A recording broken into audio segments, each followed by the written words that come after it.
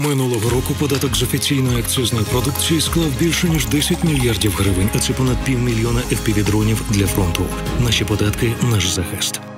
Ще вдосвіта Росія вдарила по цивільних на Херсонщині. Близько п'ятої ранку окупанти обстріляли будинок у Кізомисі. Постраждав 64-річний чоловік. Його доправили до лікарні з контузією та вибуховою травмою. Повідомили в облвійській адміністрації. Минулої ж доби через російську агресію загинули двоє жителів Херсонщини. Ще п'ятеро людей з пораненнями. Під ворожим вогнем опинилося 12 населених пунктів, включно з Херсоном. Відомо, що росіяни влучили в освітній заклад, магазин та у житлові квартали, а саме в 5 багатоповерхівок та 9 приватних будинків. Також окупанти пошкодили газогін та сільгосптехніку. Сили оборони атакували порт Кавказ, що в Краснодарському краї Росії, а фактично розміщений у Керченській протоці, та знищили пором, який перевозив пальне для армії окупанта. Цю інформацію в ефірі марафону підтвердив речник військово-морських сил Дмитро Плетенчук. Після удару пором Кондротрейдер затонув, а порт Кавказ поки що не придатний для експлуатації. Попередньо туди завітала українська ракета Нептун. Втім, військові поки цей факт не підтвердили. Під час влучання пором мав на борту 30 цистерн з пальним. Він був одним із важливих ланцюгів російської військової логістики, зазначив речник ВМС. І заміни йому поки немає. Два інших пороми на ремонті. Тож ситуація із паливом в окупованому Криму може суттєво ускладнитися, адже міст таких навантажень не витримує. По ньому такого сполучення нема. По нам прилет ракетой. Просто капец. І протягом минулої доби сталося 144 бойові зіткнення на різних ділянках фронту. Повідомляє в ранковому зведенні Генштаб. Понад третина з них на гарячому покровському напрямку. Бої точилися поблизу Новогродівки, Миколаївки, Птичого та в бік зеленого поля. Ще 20 штурмів українські захисники відбили на Курахівському відтинку біля Красногорівки, Костянтинівки та Карлівки. Запеклі бої точаться і на турецькому напрямку. Там сталося 15 зіткнень. Попри інтенсивність боїв, е, роботи снайперам на лінії зіткнення вистачає. Звичайно, вони не чекають годинами в засідці, щоб зняти мішень. Під час нинішньої війни вони швидко відстрілюються і хутко зникають. Працювати стало важче, зізнаються самі снайпери. На них теж активно полюють дрони. Тож нині захисники бригади Рубіж збирають на реп системи і просять долучитися до НАТО. Зі снайперами на Лимано-Купінському напрямку спілкувався Олег Корнієнко. Дивіться, в мене приціл е, Зейса 6, е, 6 на 36 кратність змінна. Пристрій тригеркам називається. Це йде він окремо від приціла. Ти його встановлюєш на приціл для того, щоб е, міг робити запис відео В руках бійця на псевдоріо американська снайперська гвинтівка 338 калібру. Випущені з неї кулі можуть дістати ворога на відстані 1200 метрів. О, я там не дуже е, дальнобой, як то кажуть, але це було під Він просто не везе. Він, він, вони все ближче лізуть до мене. Просто хотілося б там вистрілити на, на 1700 вистрілити, сказати, який я молодець, але переважно це все в мене до кілометру. Бійцю лише 25. Піти у військо його свідомий вибір. До лав Нацгвардії прийшов ще 2020-го. На той час на Донбасі уже боронив країну його старший брат. Перша моя ротація, е, ми виїхали за місяць до повномасштабної, повномасштабного вторгнення. І 24 лютого я вже під Новоайдаром зустрів вже, скажімо так, ворога. Тоді всім важко було працювати. Так ви дійсно говорите, що йшли великі колони, їх треба було зупинити. Та, попри хаос, нестабільну лінію зіткнення і масовані удари росіян, снайпери знаходили можливість зупиняти колони і уповільнювати рух ворога. Це давало нашим військам час підготуватися до сутички з окупантами. Але найважче було під час боїв у Рубіжному та Сєвєродонецьку. Важко було через те, що велика кількість артилерії, обстрілів е, любих калібрів. Тобто, е, починаючи навіть 82-гі міни навіть не беру. Від 120-го і до ствольної артилерії, до танків е, кидали на нас е, УР-77. Це е, е, для розмінування там 1200 кг тротіла. Вони кидали нам на здання, рушили нам здання наші. Е, Якщо ми беремо з приводу навіть снайперської роботи, тяжко висидіти на одному місці, тому що рандомно в тебе щось прилетить. більше там, наприклад, хвилин 15-20 ти не висидиш. Потім були бої за Бахмут і його околиці, а нині Ріо разом зі своїм напарником Сідим мінусують окупантів на Лимано-Куп'янському напрямку. Їхня професія овіяна міфами та легендами, але самі бійці у своїй роботі жодної романтики не бачать. Звичайно, в будь-якому випадку ми стараємося також сказати, повернути в лапках цю романтику, вибрати собі місце, знайти більш безпечне, більш вигідніше для того, щоб зробити прихований постріл. Але так воно в два рази вже набагато тяжче проходить, адже е, ворог, ну так ті самі БПЛА, мавіки, все воно постійно висить в повітрі, і знайти, підійти до позиції інколи буває майже нереально. Свідомо вдавалося знищувати окупантів з відстані 1800 метрів. Та нині в основному бійці працюють з позицій піхоти. Тут і відстань до росіян менша, і годинами не треба чекати цілей. А ви кількість своїх знищених цілей? Е, так, Скільки, якщо не ну, десятки. За час ще АТО, ООС і до сьогоднішнього часу то вже на на нас напали, потрібно захищатися, потрібно боронити свою землю. Але щоб ворожі дрони не докучали, бійці збирають на РЕБ-системи і просять доєднатися до збору. Реквізити на екрані. Олег Корнієнко, Факти ICTV, Єдині новини.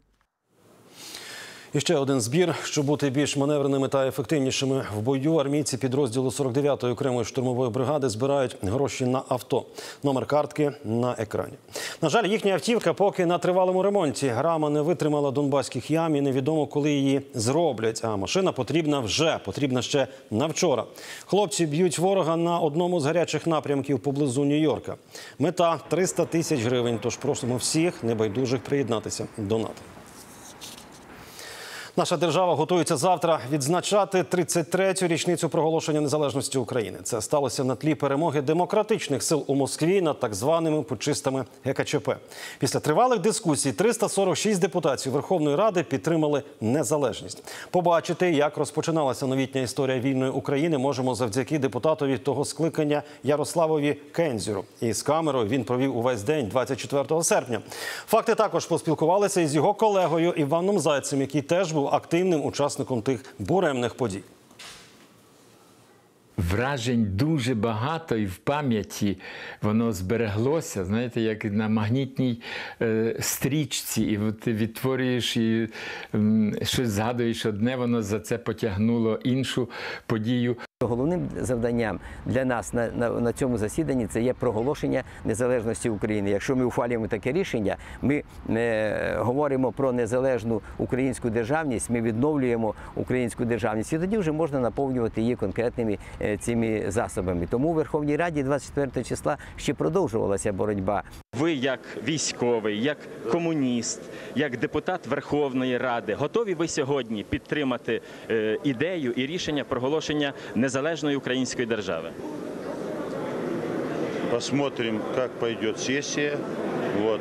В этих условиях надо очень взвешенно подумать как следует. І ця боротьба все-таки була такою жорсткою. Були кілька моментів таких, де здавалося, все вже це доленосне питання буде втоплене в цих суперечках у Верховній Раді. Але був ще один гравець.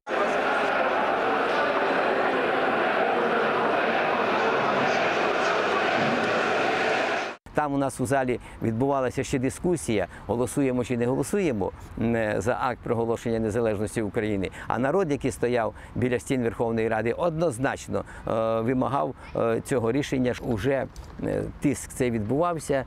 І коли вже ми пішли на, на, на перемовини із комуністами і дошліфовували проект акту проголошення незалежності України, дошліфували його, надрукували. От тоді вже Павличко приніс цей документ разом зі мною до Кравчука. І каже Павличкові: а може на понеділок перенесемо?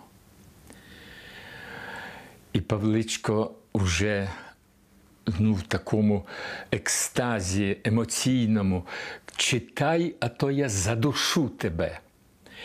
І тут якраз в цей момент прийшов цей до залу, прийшов і там потихеньку із зали піднімається фракція комуністів, і він показує Кравчукові палець вверх і киває головою, що все гаразд. Кравчук домовився з кимось там із комуністів, депутатом, і Кравчук бере. Е- цей текст, листочок із текстом і читає його.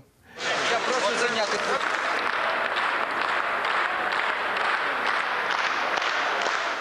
І я усвідомлюю, що от зараз у цю мить я ще в парламенті Верховній Раді Української Радянської Соціалістичної Республіки.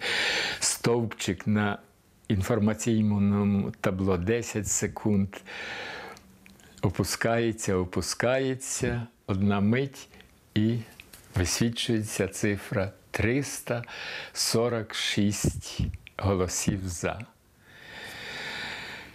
І все, в цю мить я вже у незалежній державі.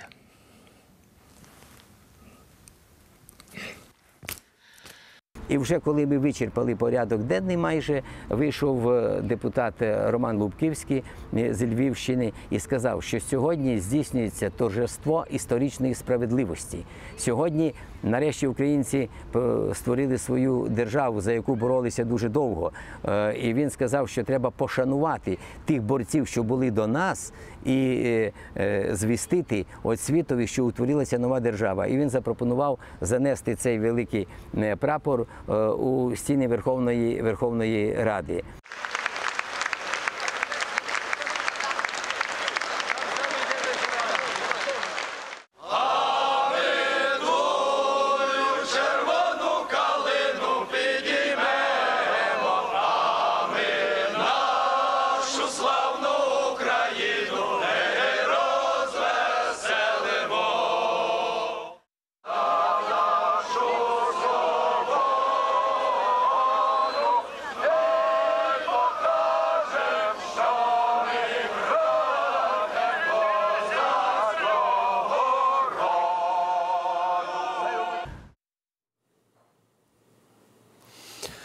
Бізнес та споживачі створили нечуваний ажіотаж на ринку сонячних електростанцій. За обладнання та на монтаж СЕС черги до жовтня. Бригад монтувальників обмаль. Компанії активно навчають нових фахівців. Спеціальність, де переважно залучені чоловіки, вже опановують жінки. Факти були на першому навчанні монтувальниць сонячних панелей. Ми зараз кріпимо е, систему кріплення да, для того, щоб панелі на ній розміщувати. У спорядженні для альпінізму та з інструментами у руках ці дівчата вперше в житті монтують сонячні панелі на даху будинку, поки не на справжньому, на імітованому в навчальному класі.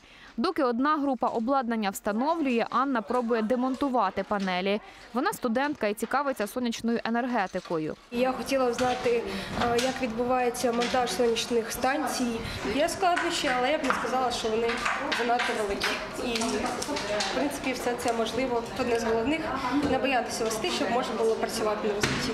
Цьогорічні вимкнення світла влітку створили величезний попит на сонячні електростанції. Бізнес та побутові споживачі наочно пересвідчилися. СЕС – це про енергонезалежність, можливість безперебійно працювати і жити без графіків. Звісно, за хорошої погоди.